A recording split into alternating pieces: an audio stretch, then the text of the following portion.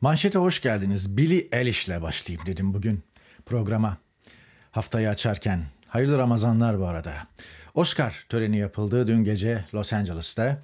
Tabi Los Angeles saati ve İngiltere saatiyle gece yarısıydı ama Türkiye'de eğer seyredildiyse sabah saatlerinde seyredildi. Burada açık kanaldan free bir yayın olarak verildi. ITV kanalında saat 11'de başladı tören. Ondan önce Kırmızı Halı falan vardı. 2 gibi de bitti. Yani gece çok fazla uykusuz kalmadan Oscar törenini seyredebildik. Ee, ITV kanalında pek çok Oscar ödüllü film ya da Oscar adayı olmuş film de yüzlercesi e, geriye doğru gösteriliyor. Free olarak, bedava olarak, ücretsiz olarak e, Britanyalılar seyredebiliyorlar. James Bond serisi var mesela 25 filmlik. E, merakı olan varsa Britanya'da oturanlar. ITV bayağı bu işe yatırım yaptı. Yani BBC platformu kadar hatta yer yer daha etkili bir platform koydu ki ikisi de free'dir. İkisi de ücretsizdir. Herhangi bir ücret ödemezsiniz. BBC'nin hane halkından aldığı e, TV lisans ücreti ayrı bir hikayedir. Şimdi hmm, Billie Eilish e, damgasını vuran isimlerden biri. Los Angeles doğma büyüme ama e, İrlanda ve İskoçya kökenli anne öğretmen, baba aktör ailesi itibariyle. Fakat 22 yaşında iki kere Oscar heykelcini kucakladı. O açıdan bu kadar genç yaşta böyle büyük bir başarı e, kayda değer ve e, alkışı hak ediyor. E, en iyi özgün şarkı e, dalında Oscar'a e, Oscar'a adaydı ki zaten ödül almasına kesin gözüyle bakılıyordu ve hak ettiği bir ödül aldı. Canlı performansıyla da göz doldurdu. What Was I Made For? E, Barbie e, filminin müziği. Fakat Billie Eilish'le başlamamın bir numaralı nedeni bunlar değil. Yakasındaki rozet, yakasında e, Gazze'de ateşkes isteyen e, bir rozet vardı ve e, Oscar törenine gelen sanatçılar incelikli bu mesajla hiçbir şey söylemeden zaten e, dünyaya duyurmuş oldular taleplerini. İnternette de bir platform var. Yani art, e, e, oyuncuların ateş, ateşkes çağrısı hemen derhal şimdi e, Başkan Biden'a yazılmış bir mektup. Beş ayı geçti diyor.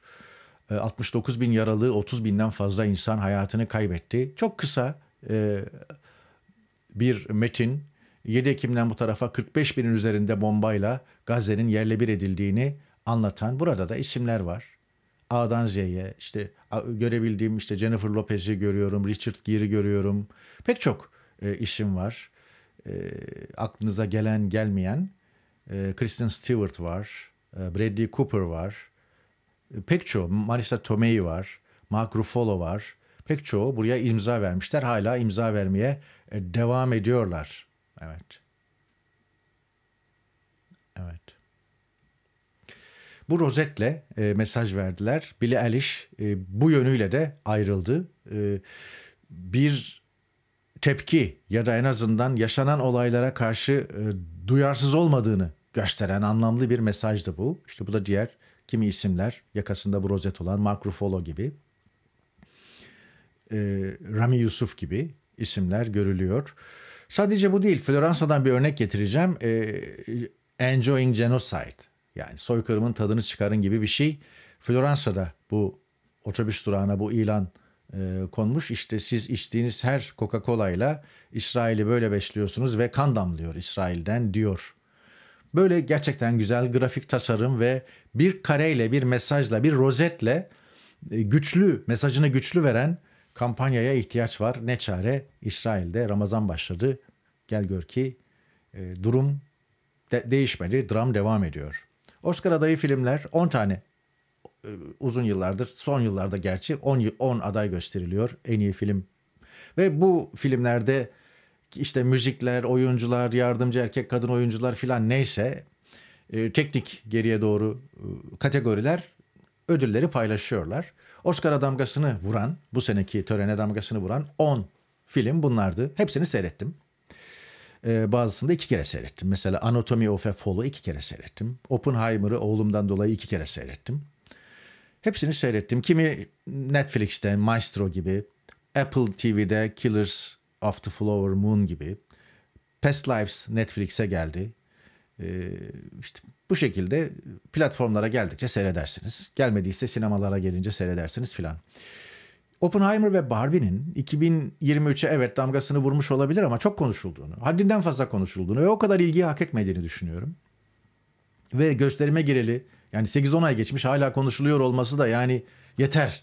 Öf falan dedirtiyor. Ama Poor Things daha güzel bir filmdi bana göre. Ee, en iyi yönetmen olmasa bile en iyi film ödülünü alabilirdi. En iyi yönetmende de belki Christopher Nolan'a gidebilirdi. Çünkü Poor Things bana göre Oppenheimer'la Barbie'yi falan geçiyor. Diğer filmleri de geçiyor ve e, hak ediyordu. Ama zaten şeyi de gösteriyor akademi. Yani en iyi kadın oyuncu Oscar'ını veriyorsunuz Emma Stone'a. Orada da işte filmin hakkını verdiğinizi düşünüyorsunuz. Dört ödülle ayrıldı Poor Things. Evet Christopher Nolan e, British Amerikan, Londra doğumlu. Baba İngiliz, anne Amerikalı. E, eşi e, Britanyalı. E, Oscar heykelciğini böyle gösterdiler, fotoğraf çektirdiler, poz verdiler. Barbie.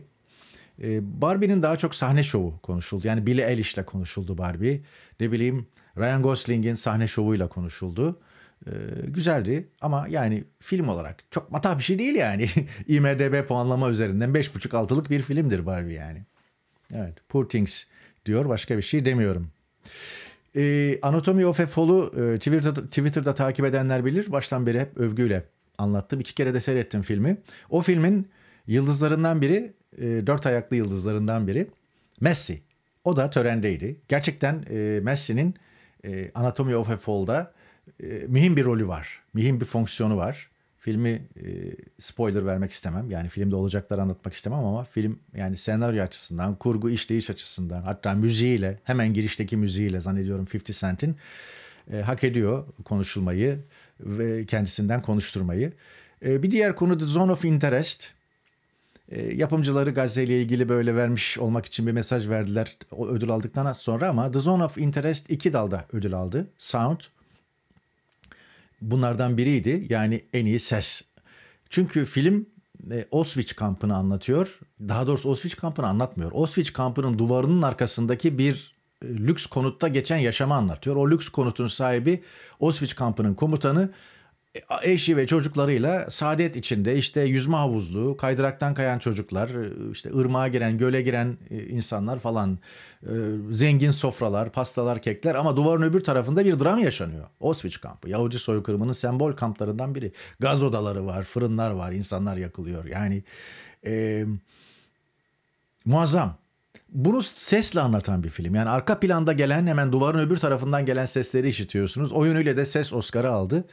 O açıdan önemsiyorum. Türkler yok muydu? Vardı. Porselenler Türkiye'den gitmiş After Party'de. Kutlu olsun. Süper. Seneye yemek servisinde yaparız.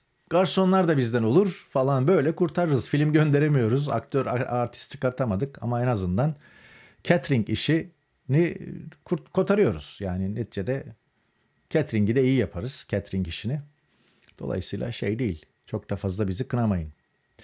İngiltere hmm, Kate Middleton'ın servis ettiği rötuşlanmış, photoshoplanmış video e, fotoğrafı konuşuyor. Kate Middleton Aralık sonunda karın bölgesinden bir operasyon geçirdi, ameliyat geçirdi. Ne olduğunu anlatmıyorlar, e, gizliyorlar. Olabilir. Bir kadın rahatsızlığı olduğundan bahsediliyor. Her neyse. Ondan beri de ortaya çıkmadı. Spekülasyonlar artınca da anneler gününde böyle bir fotoğraf paylaştı. Dün anneler günüydü İngiltere'de. Oscar törenlerinde bile çokça konuşuldu. İnsanlar şaşırmıştır. Çünkü dünyanın başka yerinde anneler günü değil. E, Mart'ın ikinci pazarı İngiltere'de anneler günü. Ve onun vesilesiyle bir fotoğraf paylaştı. Ve işte herkesin anneler gününü kutlarım falan dedi. Fakat fotoğrafın altına Twitter'ın düştüğü not ilgi çekiciydi. Associated Press, Getty Image, ne bileyim e, Reuters gibi ajanslar bu fotoğrafı kullanmadılar. Gazetelerde kullanırken buna dikkat çektiler falan. Yani fotoğraf da oynanmış arkadaş falan dediler. Sonra sabah saatlerinde e, Prenses Kate bir açıklama yaparak her ergen gibi ben de fotoğrafla oynadım. Özür dilerim kafa karışıklığına yol açtığım için tekrar anneler gününüzü kutlarım falan dedi. Ama yani e, bu kadar e, imajına dikkat eden geleceğin kraliçesi sonraki kraliçe için e, çok kötü bir imaj çalışması oldu. Bu yani bir iki tane örnek göstereyim çok bariz gö- gözle görülen mesela Prenses Charlotte'un e, sol eline dikkat edin. Yaklaştırdım. Orada bir oynama var görüyorsunuz. Sol el bileğine dikkat edin. Nasıl bir oynama olduğu, nasıl bir orantısızlık olduğu görülüyor değil mi? İşte ne bileyim prensesin e, sağ eli, e, işte sol eli son derece Prenses Kate'in son eli, eli düzgün çıkmışken e, sağ eli flu. Zaten bölgede de bir fluluk yok. Çocuğun eli de flu değil. O arada hemen aşağıda işte şöyle bir orantısızlık var. Dikkat et, dikkat yani devamlılık kesilmiş yani. Böyle bir sürü şey. Yine Prenses Kate'in işte montuna odaklanıyorsunuz. Fermuarda bir devamlılık sorunu var bir biçimde. Pek çok şey böyle bulmuşlar yakalamışlar. Arkadaki ağaç nasıl yapraklı oluyor? Fotoğraf yeni değil mi? Britanya'da ağaçların yaprakları daha çıkmadı henüz. Bahar gelmedi falan muhabbeti yapılıyor. Kötü. Ee, bakalım nasıl toparlayacaklar. Yakışmadı. Ee, yani İngiltere e, adabasını özellikle William ve Kate konusunda son derece muhafazakardır ve onların PR'ına dikkat eder ama onlar bile bir şey diyemedi yani bu konuda. Ee, bakalım nasıl toplayacaklar. Türkiye'ye dönelim. Türkiye'de de benzer skandallar oluyor. Yani yayının ikinci yarısına bıraktım. Neden? Yani çünkü ne konuşacağım ben bunun üstüne? Şimdi Habertürk'e Murat Kurum çıkmış bir PR programı. Bir kız orada işte öğrencimi artık konuklardan biri mi? Ona Gazze sorusu, Filistin sorusu sormaya kalkıyor. Hemen kesiyorlar. Elinden mikrofonu alıyorlar. Herkes donuyor. Sunucu da bir şey diyemiyor. Murat Kurum da bir şey diyemiyor. Ya devam et, sor falan diyebilir. Sunucu da bir şekilde şey yapabilir. Herkes yani açık sansüre seyirci kalıyor herkes. Sonra hiçbir şey olmamış gibi devam ediyorlar. Öyle olunca ee, sunucu hemen kendine açıklama yapmaya çalışıyor. İşte bizim diyor programın konsepti öyle değildi. Bu bir siyasi program değil falan filan. Ey siyasi program değil de yani İstanbul Belediye Başkan adayını çıkartmışsın. PR'ını yapıyorsun. Lan neresi değil. Ayrıca Gazze meselesini kampanyasına konu yapan kişiye Gazze sorusunu sordurmamak da nedir? İşte gazetecilik dersi veriyorlar.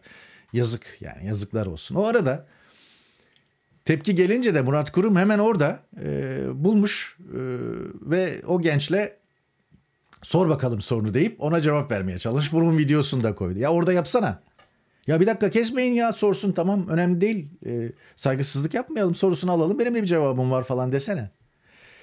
Herkes korkak. Herkes yani her bu telefonlar çalışıyor. Fahrettin devreye giriyor. Ne yapacağız diyor. Nasıl şimdi diyor işte bir şey yaptık ama nasıl sıvarsak bilmem ne. Acayip bir şey yani. Acayip bir şey.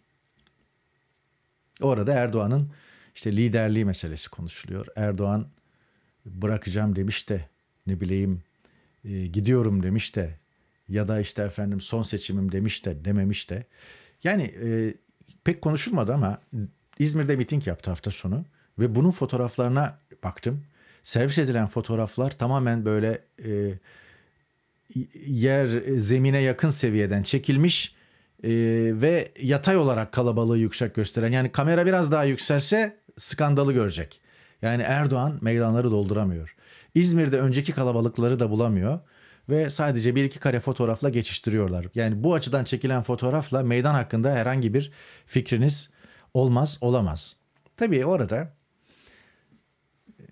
Erdoğan'ın son seçim demesi meselesi. Daha evvel defalarca kere bunu dedi.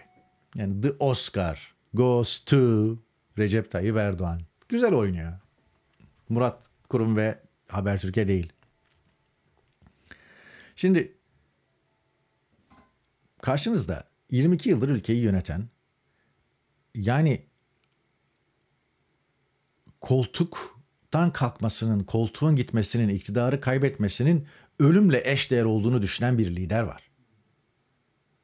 Erdoğan için bu hayat memat meselesi. Erdoğan için hayatın sonu koltuğun sonu, iktidarın sonu.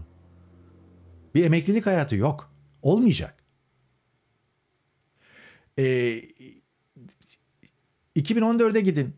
2014 10 Ağustos'ta Cumhurbaşkanlığı seçimi oldu. Ya 3 günde hep mazbatanın verilmesi lazım değil mi? Yani neticede iki adaylı, üç adaylı bir Cumhurbaşkanlığı seçimi. Atla deve değil. 10 tane pusula değerlendirilmiyor yani. Bir tane pusula var. 3 günde verilmesi gereken maz- mazbata 2 hafta bekledi. Erdoğan seçime başbakan olarak girdi, istifa etmesi gerekiyordu. Başbakan olarak Cumhurbaşkanı oldu. Sonra da yemin törenine kadar başbakanlığı bırakmadı. Bir gün önce, yemin töreninden bir gün önce, daha da şeyde mecliste yemin töreninden bir gün önce Abdullah Gül devam ederken Abdullah Gül gelmesin diye korkudan AKP kongresini topladı genel başkanlığı devretti.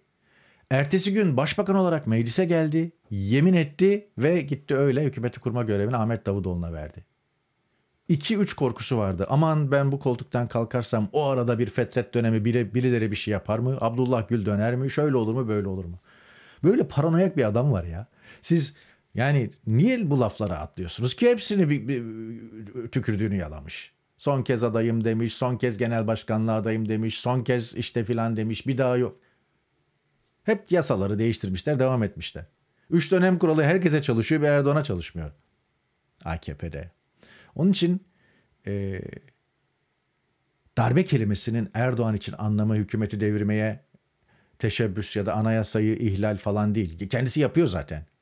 Birkaç tane hükümet devirdi. Ahmet Davutoğlu hükümeti bunlardan biridir. Pelikan bildirisi hatırlayın. Hükümeti devirdi yani.